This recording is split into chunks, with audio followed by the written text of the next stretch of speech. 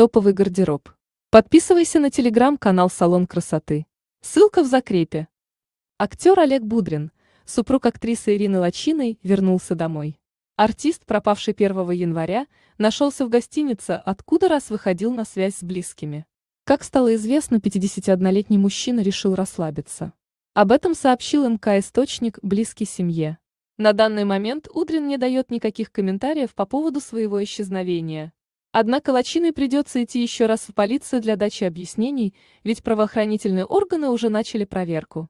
Напомним, супруг актрисы сериала «Воронины» вечером 1 января решил переночевать у своей сестры.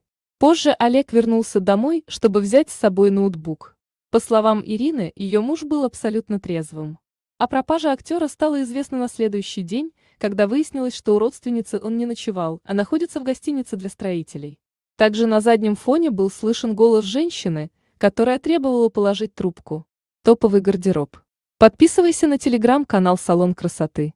Ссылка в закрепе.